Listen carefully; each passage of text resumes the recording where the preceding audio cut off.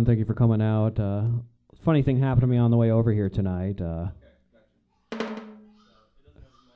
hello, my name is Serge, and I will be your waiter tonight.